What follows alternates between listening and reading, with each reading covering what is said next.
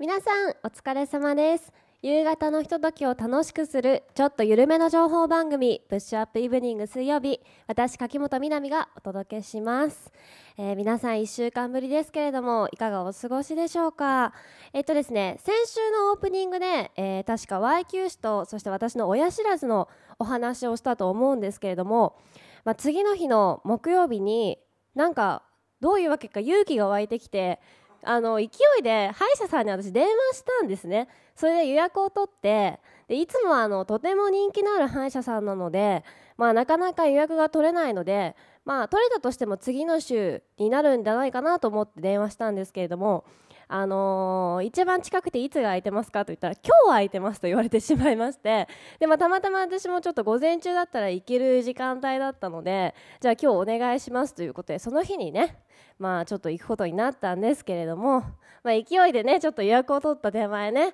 もう怖い怖いと思いながらねちょっとビクビクして歯医者さんに行ってきてまあどうだったかといえば、まあ、5分ぐらいですぐ抜けてしまってあのビクビク感は何だったんだろうと思って、まあ、安心して帰ったんですけれどももう麻酔が切れた後のあのー歯茎のね痛さがやっぱりすごい襲ってきましてああみんなが痛い痛いっていう人のはこれのことだったんだなと思ってその日急遽いつも英会話に行ってたんですけれども、まあ、英会話の先生にねすみませんというご連絡をしてお休みをしました。そして夜はねラジオの収録があったんですけれども、まあ、痛み止めを飲んで、まあ、無事に喋、えーることができたんですけれども普通ね親知らずを抜く時はまああの腫れたり熱が出たりすることがあるので、あの計画的にそういうことをね懸念して計画的に抜くそうなんですけれども、まあ、私の場合は自由気ままな B 型で思い立ったら吉日タイプなので まあね無事にここに座れて今日も良かったなっていう感じなんですけれどもまあ親知らず抜きましたというご報告です。